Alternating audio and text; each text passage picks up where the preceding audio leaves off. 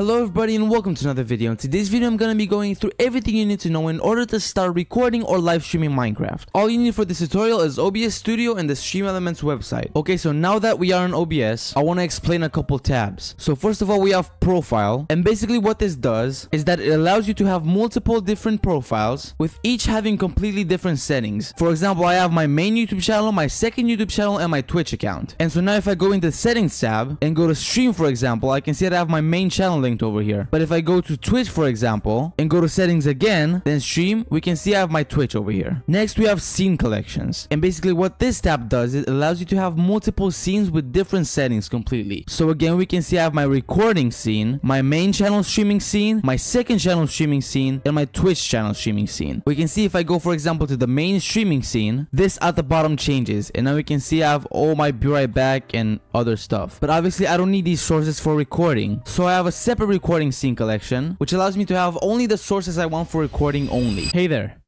Wait a second. This video is sponsored by Pixelmart, the ultimate Discord server for all your creative and business needs. Whether you're looking to find skilled freelancers or connect with potential clients, Pixelmart has got you covered. Also, it's not just a marketplace, it's a community. Even if you need resources to level up your work or honest feedback to improve on your projects, Pixelmart is the perfect spot to collaborate and grow. So what are you waiting for? Join Pixelmart today with the link in my description. Alright, let's get back to the video. So next up, I'm gonna explain what scenes actually are. So basically, scenes are a collection of different sources. For example, I have my main scene right here with my alerts, my camera, my chat, and my tip goal. And then I have my Be Right Back scene, which only has my Be Right Back screen, my alerts, and my chat. And last but not least, we have sources. There are multiple of different sources. For example, an image or a video capture device, which is a webcam usually, or text, and a lot more. You can add sources from the plus icon and delete them with the trash bin. And this goes for scenes as well. So what scenes and sources do I have? I'm gonna show you every single one that I use. So first off, we have the screen, which is actually just the display capture, and that's just basically what you're seeing. And then I just have my webcam and a background for that webcam, which gives it a little bit of shadow. And then I have another scene with just my webcam, as you can see right here. And that's it for recording. So now that you have your scenes and sources ready, you're gonna need the best settings for you. Unfortunately, my PC and your PC is gonna be way different. So obviously not all of my settings will work with your PC. So I'm just gonna show you what the best settings for OBS for me are. So let's go over here to settings. Here are the general settings.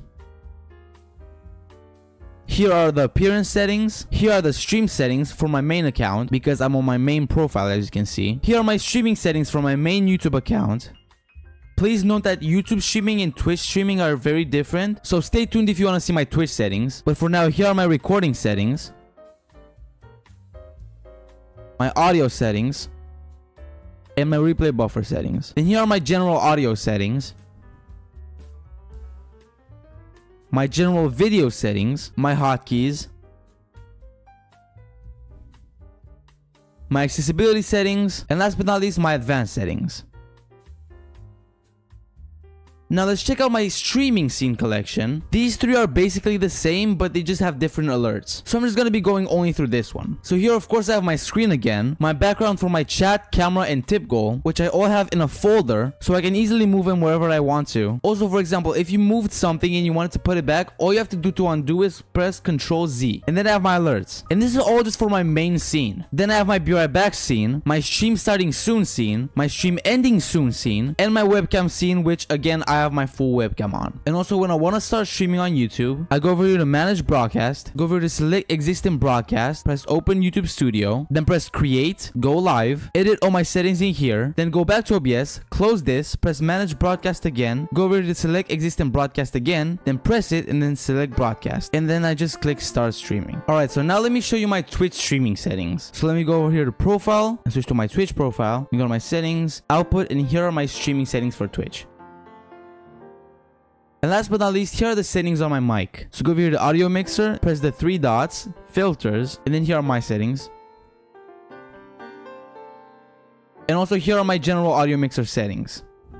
Alright, so now we're done with OBS. Let's go to the StreamElements website. Make sure to sign up. Then once you're logged in, just press Dashboard, press Streaming Tools and Overlays. To make a new overlay, all you have to do is press New Overlay, press Start, press Add Widget, and choose whatever you want. What I have for my own streams are alerts. And also here in Stream Tools, my Stream Chat, which I have two of, and they are the normal chat and the full screen chat. And also have my tip goal, which is found in the labels, tips, goals, and tip goal. Again, on here you can have multiple profiles, which I do. I have one for my main channel, my second channel, and my Twitch channel. But all of them basically basically are the same. So I'm only going to be showing you my settings on these four on my main channel. So let's start with my alerts. And here in the settings, all these I've basically set up the same. So I'm only going to be showing you my tip alert. Here's the position. Here are the general settings, the variation settings, the text to speech settings, the test settings, the advanced text settings, and the animation settings. Next, we have my tip goal, which obviously is optional, but I'm gonna show it to you anyway. Here are the general settings, the position settings, the text settings, and the advanced text settings. Next up is my chat, which I have set up to go right here in this box, along with my tip goal and my camera. Here's the general settings, here's the position settings, you have the text settings, and last but not least, I have my full chat, which I use for my webcam scene. Here are the general settings, here are the position settings, here are the text settings. And also, if you want to make a cool tipping page like me, you can do it here in revenue and then tipping settings. Here are the tipping settings for my main YouTube channel, the payment providers, the page settings,